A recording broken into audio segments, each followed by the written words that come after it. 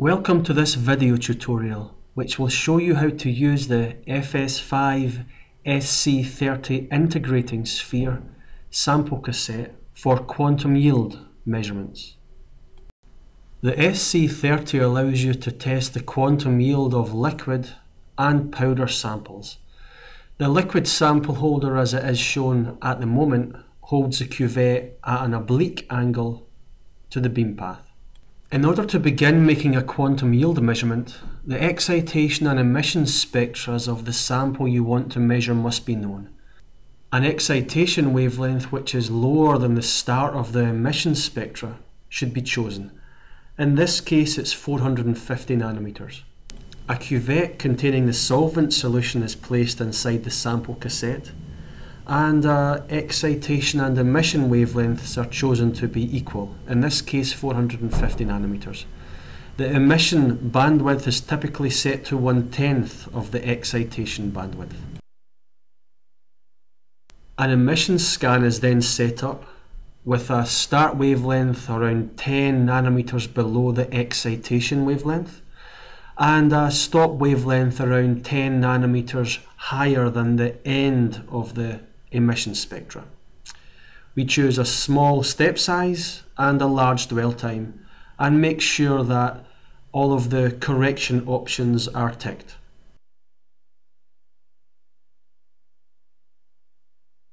This shows you a typical spectrum obtained from the solvent emission where you have a large scatter peak from your excitation wavelength and almost no signal for the rest of the spectra. A cuvette containing your sample is then placed in the sphere.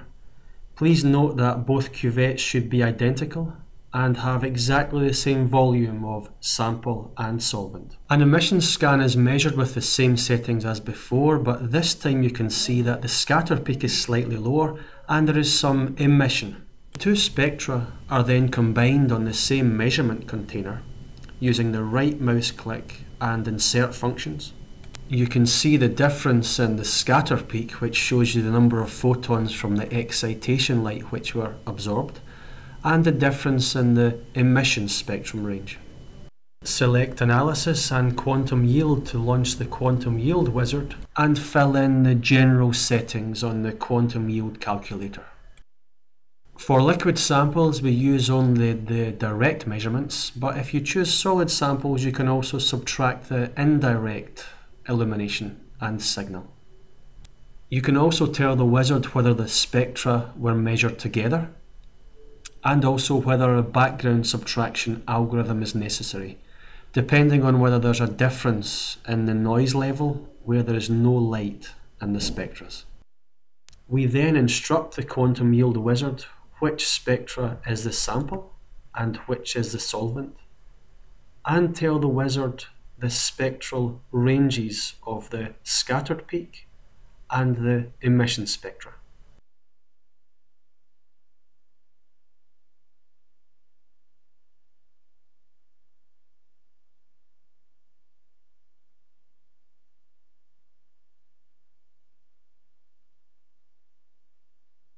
The wizard will then calculate the quantum yield of your sample.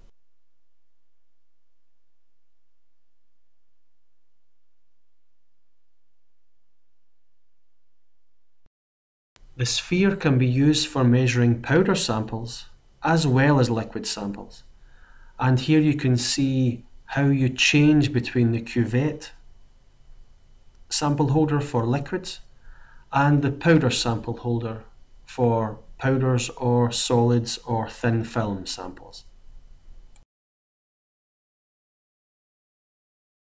A mirror is used to reflect the illumination beam onto the powder sample position and you can place the powder holding tray which is the PTFE tray which can easily be washed and also the powder blank. Powder and film samples can be placed in either the direct or indirect excitation positions.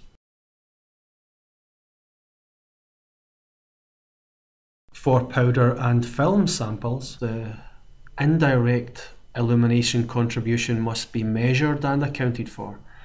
In this case we measure three spectra, one of the blank, one of the sample in direct illumination position and another of the sample in its indirect illumination position, which is shown on the right. Again, the quantum yield wizard is used. This time we select a solid sample and use indirect illumination.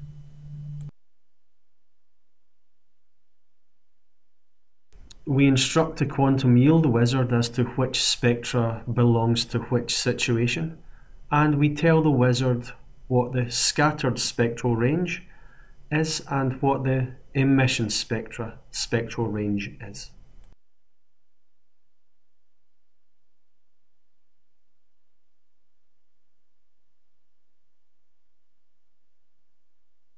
The last common situation is one where the excitation spectra and the emission spectra are measured in se separate emission scans.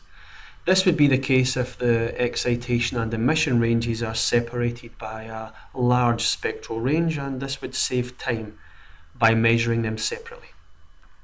Due to the dynamic range of the PMT, it is sometimes the case that we measure the scattered peak using a neutral density filter, one which has, for example, a 1% transmission. If this is the case, then we must scale the excitation peaks by a factor of 100. We combine the spectra in the same measurement container as before, and then follow the quantum yield wizard instructions.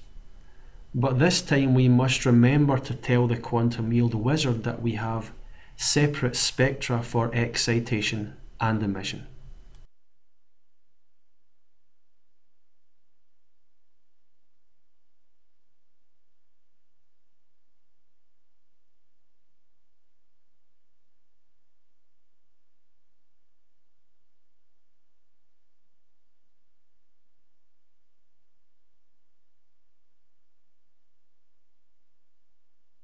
This completes the FS5 video tutorial on quantum yield.